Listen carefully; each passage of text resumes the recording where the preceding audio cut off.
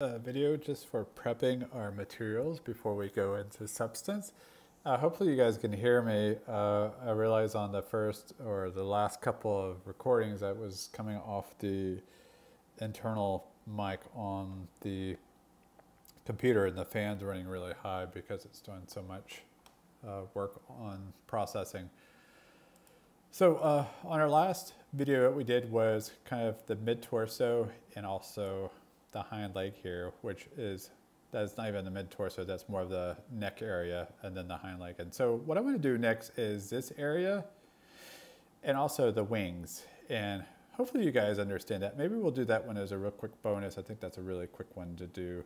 Uh, but let's go ahead and hit uh, Command D. I'm gonna go ahead and quickly go through this because I know these videos get uh, tiresome and hopefully you guys aren't watching every second of it, but getting some ideas on how to prep material. Again, hopefully this stuff is very helpful uh, for you guys once you start getting into your own model making of your final character prop or research project or even your senior uh, research project on how you're going to create these things. Again, I want you guys to utilize everything that we've learned in this class uh, to make that. So I'm just using my polygon tool here and selecting that. And so we're going to go ahead and uh, create a new uh, 2K character, or not character, 2K um, Photoshop uh, form here.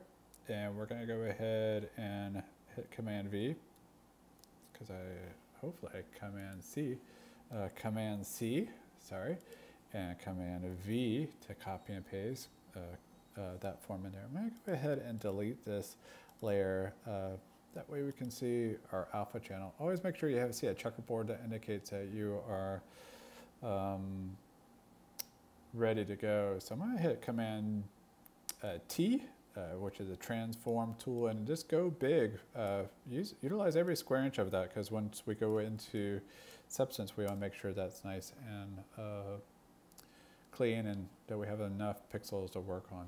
So I'm going to go ahead and grab uh, the wings since those are kind of horizontal also.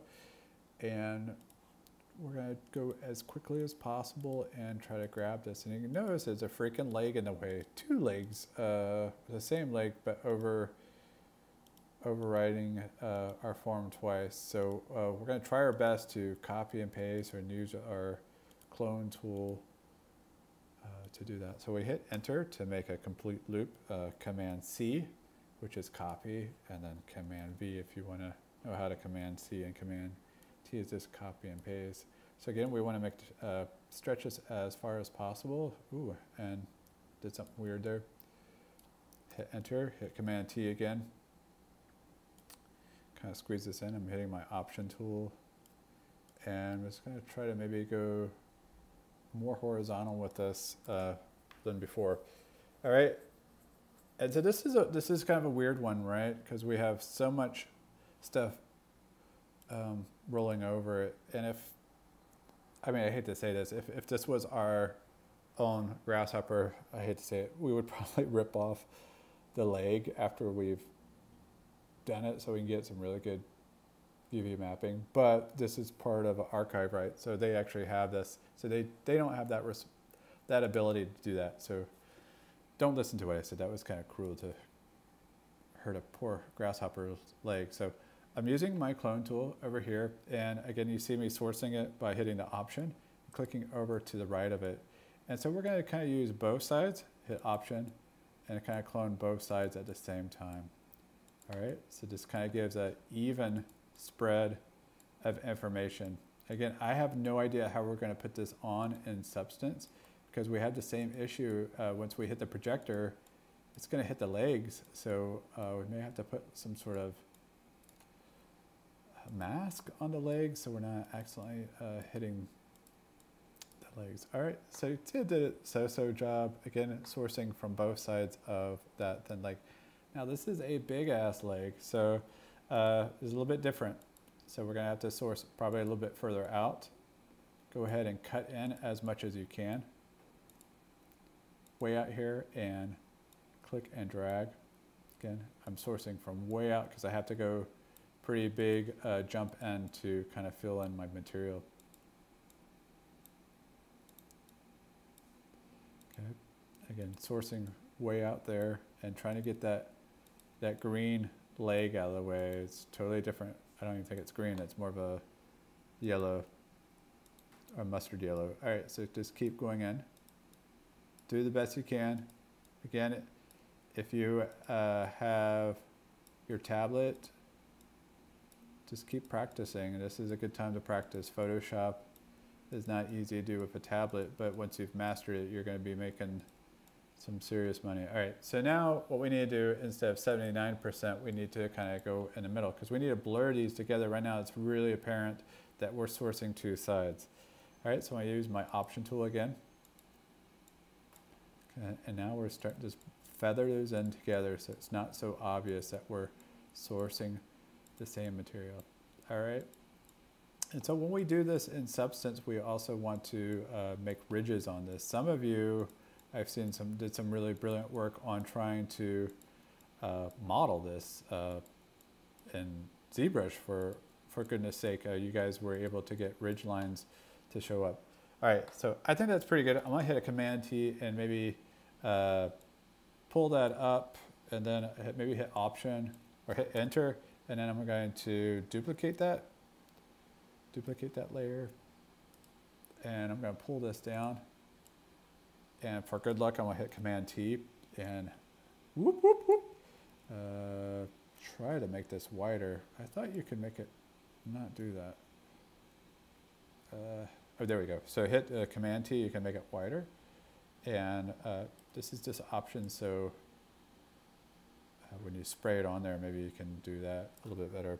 All right. Um, again, I'm not going to show you how to make that soft on the edge, uh, but definitely you guys need to do that. I think that's what takes me so long is try to soften those edges.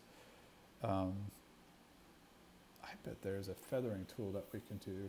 Well, anyways, uh, you don't want to hear me uh, think, so let's just keep going.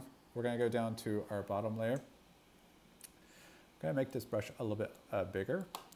All right, maybe a little bit bigger than that. I'm gonna go up to 89.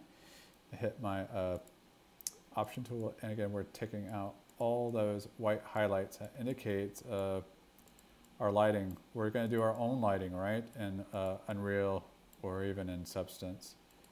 All right, so I'm just kind of knocking all that white down and at, at the same time uh, taking out that ridge line.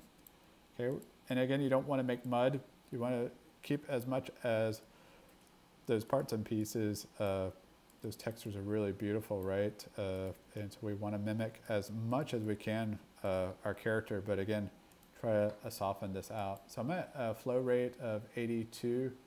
So I may want to go down a little bit so you can kind of grab uh, both sides with different types of colors. I, kind of like some of that ridge line, but uh, you're not going to be able to do it. So I would keep those little dots maybe, but uh, definitely get rid of this harsh ridge line here. Okay, just kind of get some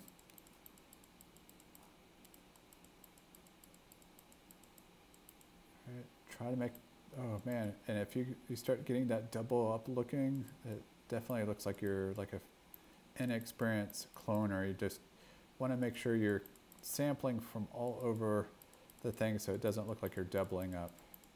All right, again, try not to make mud. Mud is easy to make. You can actually buy it or get it from the side of the road. So try to do your best uh, with your craftsmanship. Get rid of these hard edges and try to make it look like organic uh, shapes in here. Again, I'm doing my best to try to get soften that up so we can't tell any ridge lines or any specular highlights or, all right, hopefully you guys will understand what I'm talking about once you uh, start applying these materials. All right, we just want to make it look seamless and beautiful. All right. It up here. Try my best to get rid of that white highlight. Ah, and I'm trying to clone the leg. All right, so don't do what I just did right there. Okay, here's the, the behind here. Again, there's a huge ridge line here. Take that out. Take that out. Oh my gosh, it's huge specular. All right, so almost everything is knocked down. We have a little bit of some ridge lines down in the base here, some repetitiveness that we need to get rid of. Okay, just kind of want to get, all right, almost done. And I'm getting some ideas on how to uh, soften the edge. All right. Do your best. Uh, again, we can paint over this if we've got some really bad ridge lines. Okay, so it's some sort of tonality and some sort of color. Okay, again, we've got to get rid of this leg. And I'm just going to go from both sides and pull some color. And I'm just going to go dark. Oh boy, so much, so much here. All right, so I'm just going to kind of keep cloning. Don't clone uh, the alpha layer. Okay. Not the not the best. Uh, what I'm doing here, I'm doing really quickly, so you guys definitely slow down and do a good job. All right, so I'm starting to pull from both sides and trying to meet in the middle. And again, trying to get rid of that green or mustard uh, yellow. Try to blend this. Uh, so act looks like there's some sort of unique, cool texture in there and not to create mud.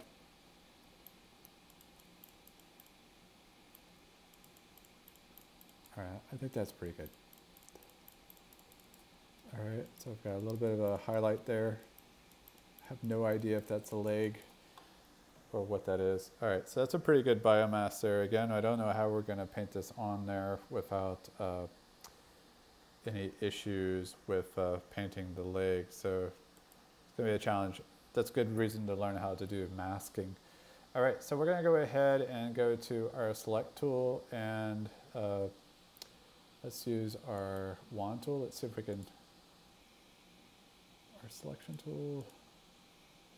Let's see. Quick selection tool.